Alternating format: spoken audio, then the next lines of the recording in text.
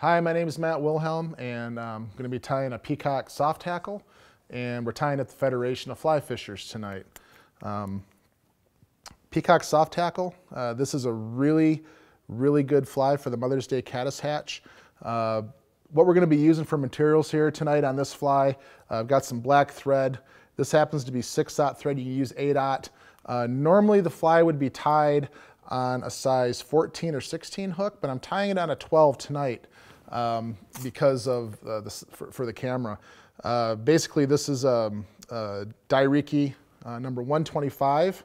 It's their emerger hook. It's got a thin wire and uh, it's really nice. Uh, it's not as heavy as a scud hook, which is going to tend to sink the fly a little bit more. So it's got a lighter wire. It still has that curved uh, appearance to it. So that's the hook we're using tonight.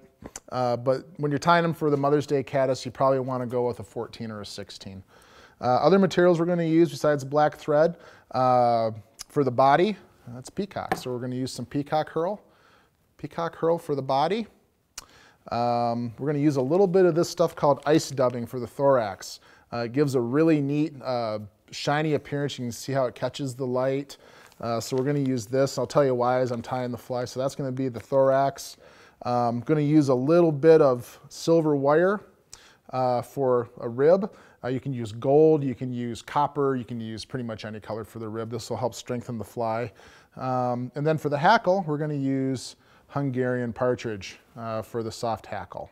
All right, so we'll get started here. I'll put a thread base on. I like to go about halfway and then tie on a piece of wire. I'm going to tie a piece of silver wire right here and then continue down the hook with my thread down almost all the way to where it really starts to curve. And then we're going to get some peacock. And since this is a bigger hook, I would usually use on a size uh, 14 or 16 hook, I would usually use about two pieces of peacock herl. But I'm gonna, I'm gonna select three pieces for this one. I'm gonna put three pieces. I'm gonna try to find three pieces that are, that are pretty, pretty good and bushy so I get a nice thick body. There we go. So what I'm gonna do is I'm gonna kind of put these all together so that they're mated. Get all the tips together. There we go like that. I'm just going to get rid of those.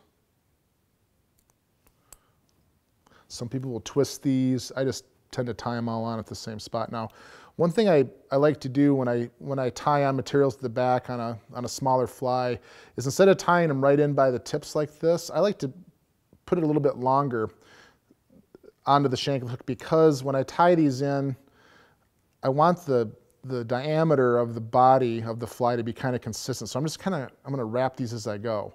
If I were just to tie on the tips, I would kind of have, I'd wind up with a kind of a big, kind of a glob at the back of the hook. And it probably doesn't make a huge difference to the fish, but it's probably more for the fly tyer, but it makes the fly look a little bit better. So I've got three pieces tied in there of peacock. And I'm to start working these around the hook.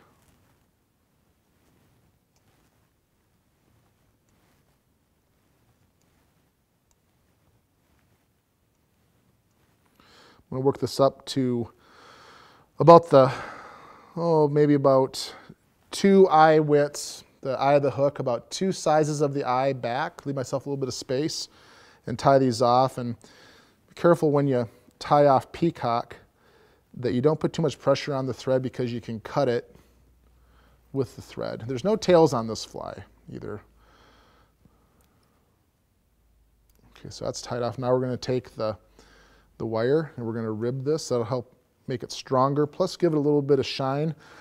And with, with a caddis emerger, um, a little bit of shine is important because what happens when a caddis emerges is that it, when it goes through its pupa stage underwater, it builds up gases in its in its uh, in its little shell or not not shell, its um, its case or its cocoon, and when it when it rises, when it ascends to, through the water, it actually kind of rides those gases up uh, through the water column. So a lot of caddis uh, patterns. Uh, Gary LaFontaine was one of the first ones to kind of start adding materials to caddisfly uh, uh, pupa and caddisfly emergers that had some sparkle to them, trying to imitate uh, basically the trapped gases or bubbles that kind of the caddis help to, as that they have attached them as they ascend through the water column. So that's why I'm using this really bright, sparkly, peacock colored, it's called ice dubbing.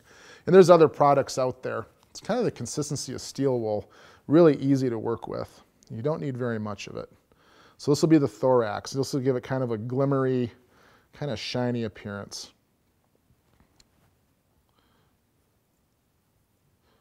Let's put a nice little thin rope on there like that. This will be our thorax.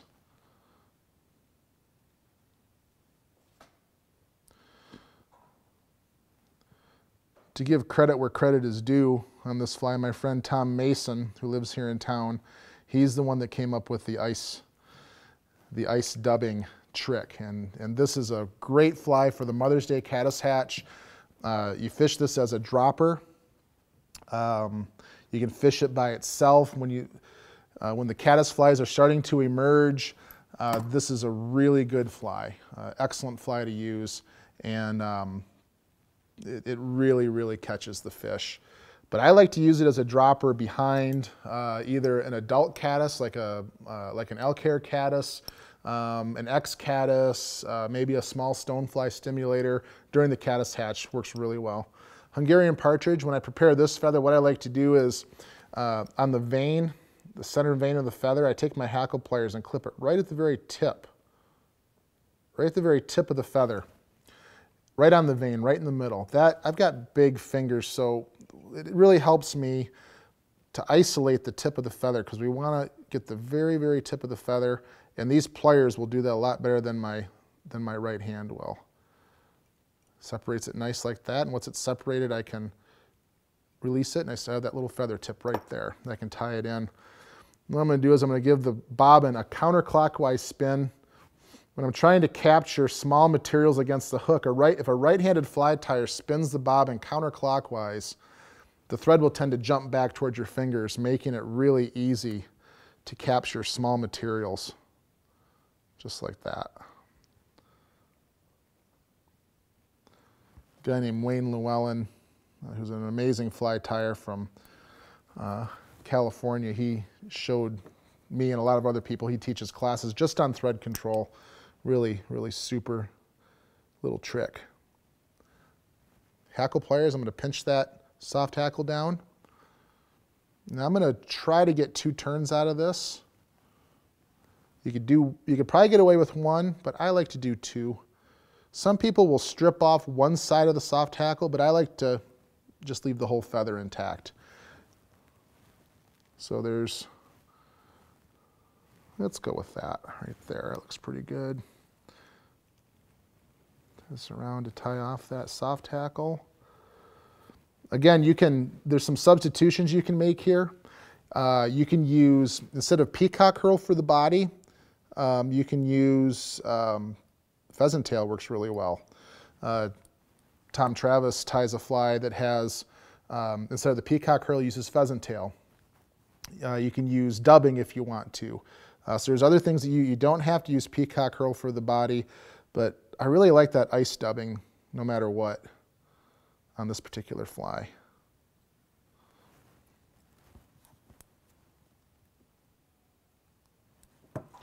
And a couple of half hitches.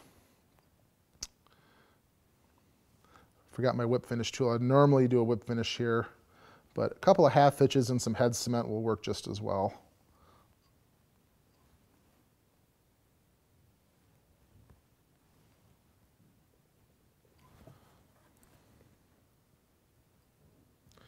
Mother's Day caddis uh, can hatch on the Yellowstone River. We're usually the last ones to get it because our water's a little bit colder than the Madison or the Gallatin. Um, we tend to get ours around, depending on what Mother Nature deals us for weather and, and water clarity conditions, we usually get ours around the end of April to early May. Um, some years we don't get one at all because the water's muddy when they come off. Uh, but anyway, but this, this pattern used on the Yellowstone during the Mother's Day caddis hatch, uh, used as a dropper or by itself. Um, is a great fly. Fish it in the riffles, uh, where the riffles uh, start to, where the riffles start out shallow, about knee deep, and they start to tail out and get deeper. This is a great fly in that kind of transition zone between the real fast water where the caddis larvae are living and where they let go to emerge and they drift into that deeper water. So if you're in that transition water between the shallow riffle water that's around knee deep and the water starts to get deeper like waist deep, this stuff, these work really well in that type of an area. So peacock, uh, peacock uh, soft hackle caddis emerger.